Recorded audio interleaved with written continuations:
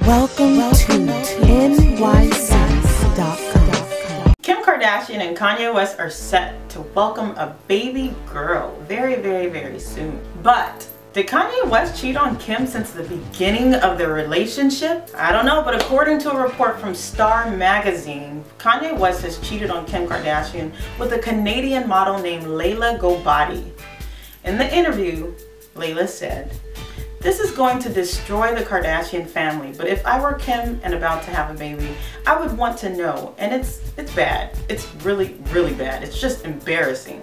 Well, according to Leyla, their relationship started after Kanye saw her at a show. He had one of his boys go out into the crowd and bring her backstage. To make matters even worse, Kim Kardashian was allegedly at the same show but Yeezy allegedly told Leyla that Kim's relationship was only for fame and it's just a way to increase his fan base, nothing serious. Ghobadi said the first time they had sex was in July and then again in October, but after Kanye contacted her this past week, she had enough.